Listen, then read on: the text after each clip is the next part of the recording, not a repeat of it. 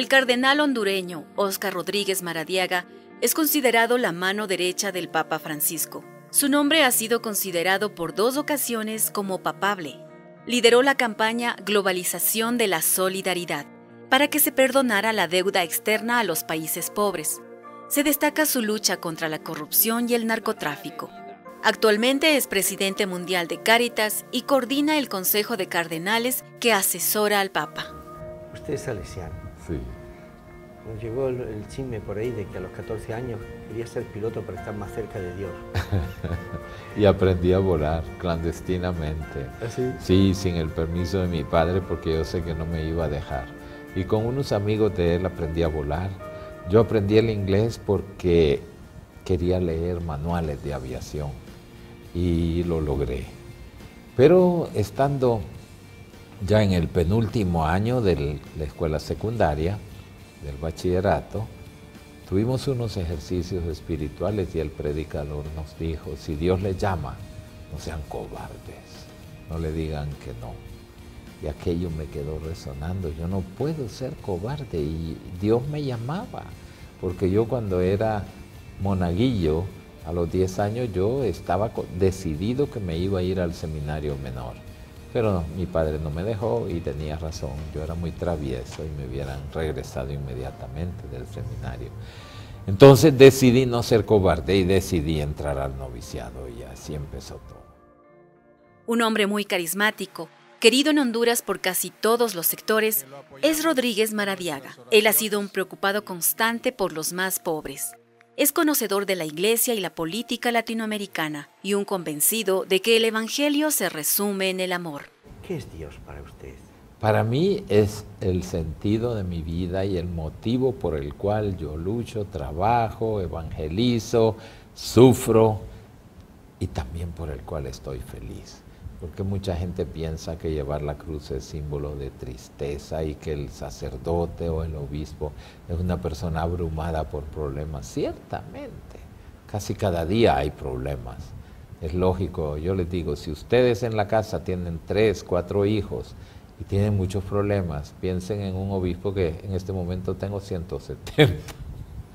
Entonces, lógicamente, mate alguno tiene que tener algún problema. Pero a mí me ha alentado muchísimo la actitud del Santo Padre Francisco, con el cual he tenido la dicha de estar muy cercano. Y nunca le he visto desencajado o desanimado o triste. Aún en medio de problemas que hemos compartido, le veo con una gran fe y una gran alegría y un sentido del humor precioso. Yo creo que esto pues es algo que debemos seguir cultivando. Monseñor Rodríguez Maradiaga es considerado un viejo amigo y hermano de Jorge Bergoglio. Por su enorme capacidad intelectual, ha sido referido como el hombre fuerte del Papa. Eh, no estamos en programa, pero usted nos habla del Papa y claro, ya sabemos que usted tiene que estar muy cerca de él. Háblenos del Papa, la otra cara del Papa. Yo diría es que eh, el Papa casi, casi toda su cara la conocemos porque es tan cercano de las personas. El Papa es alguien desde el primer día que nos vimos, ya él como Papa, que fue a los cuatro días de su elección, él me llamó y me dijo, mira, voy a hacer un consejo de cardenales con este, este, este, este, este, este. Los tenía todos aquí. Y al final me dice, ¿y te animas a coordinarlo? Y digo, si usted me lo dice, tengo que hacerlo. Y después me dijo, fui al, apartamento, aquello es una cárcel, yo no puedo vivir en prisión, yo necesito a la gente, de tal manera que decido vivir en Santa Marta. ¿Qué te parece? Así, le digo, Santidad, ni lo había llegado a pensar, pero creo que es una cosa buena. Ahora todos nos damos cuenta que es una cosa buenísima. Primero, en su misa de cada día, él recibe más o menos 80 personas. Los primeros que fueron a esa misa fueron el personal de servicio del Vaticano, los aseadores, las aseadoras, los jardineros, que algunos 18 años sirviendo en el jardín jamás habían estrechado la mano del Papa. Y él al terminar la misa está en la puerta, saluda uno por uno, lo cual también es una ascética, pero uno por uno. Él, aquello de yo necesito la gente, lo vive con intensidad. Y en las audiencias del miércoles, hasta he oído quejas en el personal del Vaticano porque dicen, ahora dura una hora más. No porque él hable una hora más, es que se va hasta el fondo de la vía de la conciliación saludando a medio mundo. Y por consiguiente, claro que dura más. Pero él lo necesita. Para él, la gente es una gran motivación de su apostolado. Luego, su lenguaje sencillo y profundo a la vez, porque es muy profundo cuando nos habla y nos hace comparaciones. Ahora, el, retiro que dio a los sacerdotes para el año de la misericordia, le dije el otro día yo, mira, tú eres experto en oftalmología, porque les habló de las miradas de la Virgen. Y dice, la Virgen no nos mira con miopía, no nos, con, no nos mira con presbicia, no nos mira con catarata y a cada una de estas imágenes le iba poniendo el significado espiritual. Digo, tiene ese don del Señor de poder llegarle a la gente, como me dijo un señor en Alemania, nos habla y le entendemos. Creo que es una de las gracias del Santo Padre. Luego es muy sencillo en su manera, incluso hasta de vestir le criticaron porque se veían los pantalones negros debajo de la sotana y dijo, ¿y eso qué mal tiene? Si los pantalones sirven, los voy a seguir usando. Cuando ya no sirvan, tal vez me voy a poner unos blancos. Cuando le ofrecieron los zapatos rojos, dijo, no, yo tengo los míos y basta. Y así es una persona tan cercana, tan sencilla, pero tan de Dios, que eso es lo que ha hecho que la gente lo quiera muchísimo. Usted también era candidato, ¿eh? Bueno, bendito sea. que pensábamos en que Rodrigo Madariaga sería el próximo papa.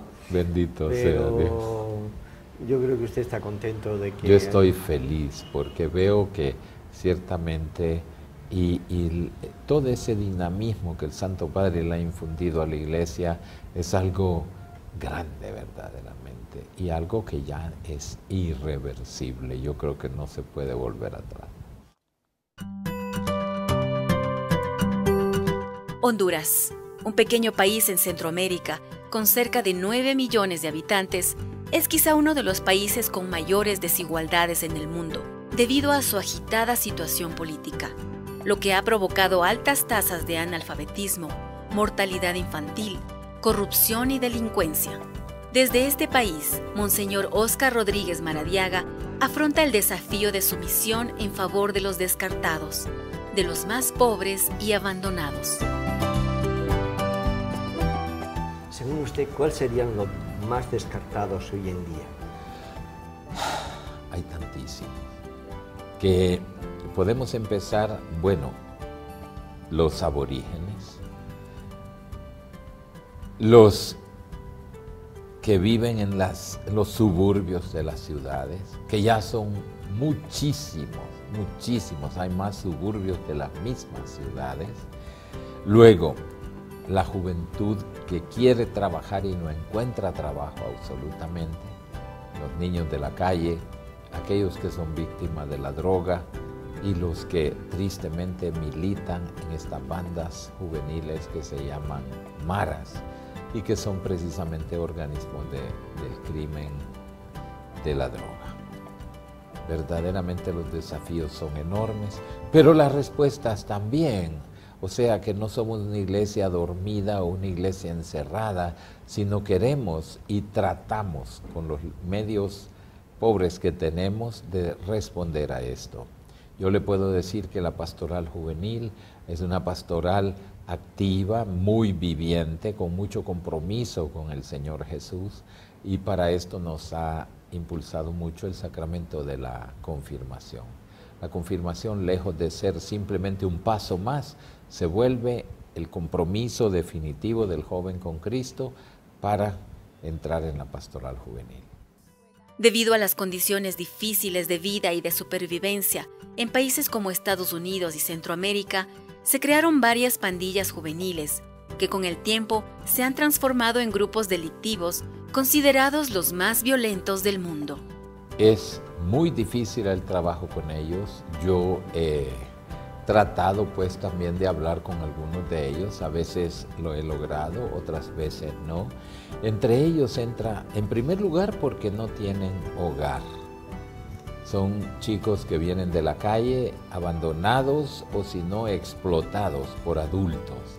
Para ellos la única pertenencia es la mara y por consiguiente antiguamente se tatuaban y el tatuaje era como la carta de identidad. Pero después empezó a haber personas que los eliminaban. Bastaba que anduvieses un tatuaje para poder ser eliminado. Tuvimos un tiempo, un apostolado de borrar tatuajes. Es complicadísimo. Máquinas costosas, quemaduras de segundo grado, eh, atención médica clínica contra infecciones cada dos días. Entonces, sin embargo, llegamos a borrar muchísimos tatuajes de chicos que ya no querían estar tatuados porque era sentencia de muerte. Luego las mismas maras empezaron a amenazar las parroquias, teníamos en dos parroquias ese servicio y entonces tuvimos que dejarlo. Hoy día no me consta que se siga haciendo en ninguna parte por el peligro. Ahora, el miedo continúa. Y el miedo continúa, ¿por qué? Porque estos chicos dicen, no, padre, yo voy a vivir lo más cinco años, entonces déjeme gozar la vida. Y para ello gozar la vida es tener dinero lo más rápido posible y vivir promiscuamente. Ellos eh, han entrado mucho en el sicariato, porque cuando empezó la persecución del narconegocio, más que simplemente narcotráfico, cuando empieza la persecución del narconegocio, entonces ellos pagan sicarios para eliminar personas y así mantener a la policía distraída en ese tipo de crímenes y transitar la droga o menudeo, porque también existe ya, menudearla sin complicaciones. incursionaron en la policía, tuvimos aquí unos problemas enormes Hubo que hacer una comisión especial para la depuración de la policía y han tenido que expulsar muchísimos con un agravante. ¿Qué hace esta gente? Los que no están en la cárcel por un delito comprobado están por ahí desempleados. ¿Y cómo van a subsistir si no es buscando otra vez el dinero fácil? La Iglesia, junto a otros organismos, ha intervenido y realizado servicios de ayuda y mediación entre pandillas con la finalidad de reducir el índice de violencia en este país. ¿Hay, alternativas? Sí las hay, claro que sí. La primera de todas, que el Estado debe preocuparse por el bien común. Nosotros tenemos un índice de desempleo muy grande. Hay tanta juventud y tanta juventud que hace esfuerzos para graduarse en todas las universidades.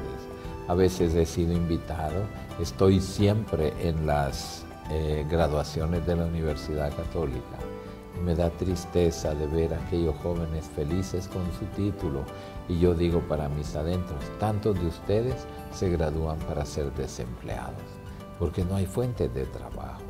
Eso es la ocasión de que mucha juventud trate de emigrar a los Estados Unidos porque piensan que ahí es la tierra prometida y lo que encuentran son nada más que vejaciones, humillaciones, racismo y luego deportación.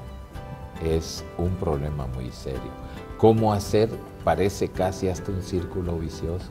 ¿Cómo podemos tener más fuentes de trabajo si no hay inversión? ¿Y cómo vamos a tener inversión si hay tanta violencia y tanto miedo?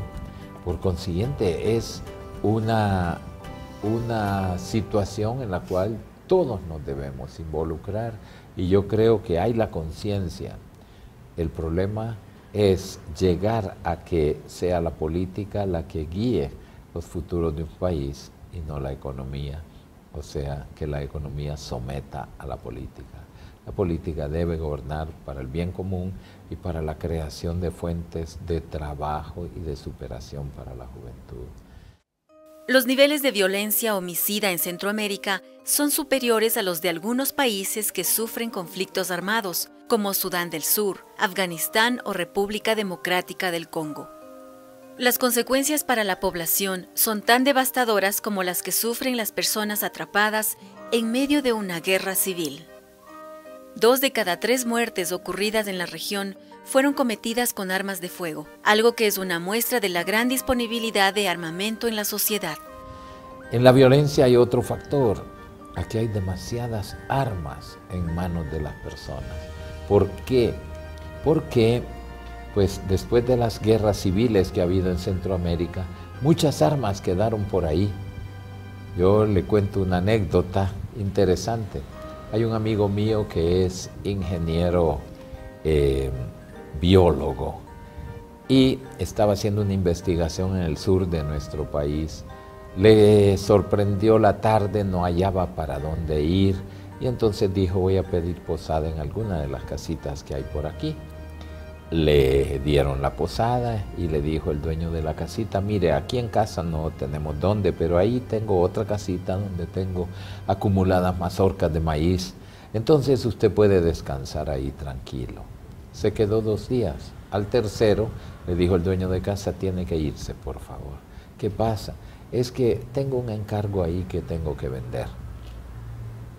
Conversando y conversando, tenía 300 fusiles Kalashnikov, que cuestan un capital y se vendían por 300 lempiras. Póngase a pensar usted, 300 lempiras son 15 dólares. Y entonces un arma que cuesta más de mil, venderla por 15 dólares, para este señor era el negocio de su vida. ¿Y por qué las tenía? Porque las compraron simplemente cuando a pocos kilómetros de la frontera con Nicaragua, pues en Nicaragua hubo una comisión que tenía que destruir el armamento de aquella guerra civil. En lugar de destruir, muchos vendieron. Y ese es el origen de tanta arma que hay en manos aquí de mucha población que no tiene permiso para portar armas. Eso es fuente de violencia, fuente de robos, de asesinatos, de sicariato. Y no logramos que en nuestro país se pongan de acuerdo para hacer un desarme, que sería una gran solución para la violencia. Pero no se puede llegar. Al Congreso inmediatamente rechazan las leyes. Creo que tenemos un poco de contagio del virus de la nación del norte, donde existe la asociación del rifle, lo más ridículo en una nación que quiere erradicar el crimen. La pobreza y la injusticia son las peores armas de exterminio masivo. Lo manifestó Monseñor Rodríguez Maradiaga. Sigue pensando igual. Sigo pensando igual. Sí, la destrucción masiva que invocaba el presidente Bush en aquel entonces eran armas, decía, químicas y todo eso. Era falso. La verdadera arma de destrucción masiva es la pobreza, es la injusticia social, es la inequidad. ¿Por qué? Porque eso destruye los horizontes de las familias, destruye el horizonte de poblaciones enteras que no les queda más remedio que sobrevivir cuando tienen derecho a poder vivir con calidad si el país donde viven se preocupa por el bien común y trata de que haya trabajo digno para todos. Y es posible tenerlo, es posible tenerlo, pero nadie invierte en el campo. Usted verá que aquí en nuestro país tenemos una Honduras del siglo XIX, otra del siglo XX, otra del siglo XXI. Y la Honduras del siglo XIX no tiene caminos, no tiene carreteras, no tiene agua potable, no tiene luz eléctrica, no tiene farmacia ni ningún servicio de salud. A mí me toca muchas veces ir a pie por pequeños poblados porque no hay, acceso, no hay acceso, pero hace falta eso. No se invierte en el campo, no se invierte en promoción humana de los más pobres. ¿Qué propone? ¿Qué nos pide? Yo eh, sobre todo quiero decirle que los últimos años he estado muy triste, porque América Latina, lejos de avanzar, ha retrocedido. Y ha retrocedido por modelos políticos inadecuados totalmente. Es lo que yo llamo hoy día dictaduras democráticas. ¿Por qué? porque se llega al gobierno a través de la democracia, a través de elecciones, y nadie las cuestiona. Pero una vez en el poder, entonces se vuelven dictaduras porque quieren perpetuarse en el poder. Y entonces, claro, algunos pueden tener muy buenas intenciones y sentirse casi mesías, pero esa no es la democracia. Mantener un país por años con elecciones sucesivas para la misma persona. Ahora un vecino nuestro que es totalmente un dictador, peor que el dictador que ellos mismos derrotaron hace tantos años. Entonces quiere decir que en lugar de avanzar, retrocedemos. Y en lugar de consolidar la democracia, estamos volviendo atrás. Muchas veces los ciudadanos dicen, bueno, hay que votar por el mal menor. Eso no es democracia, eso no es progreso. Nosotros tenemos un déficit de formación política y de proyectos políticos viables. Cuando yo decía hace cerca de 20 años que la política se ha convertido en una industria para el enriquecimiento de algunas personas y luego para dar apariencias de democracia, yo creo que hemos caminado para atrás. Y esa mentalidad no ha cedido. Y muchas veces se llega a los cargos políticos con el deseo de enriquecer a una persona o a un grupo. No tenemos modelos políticos viables hoy día.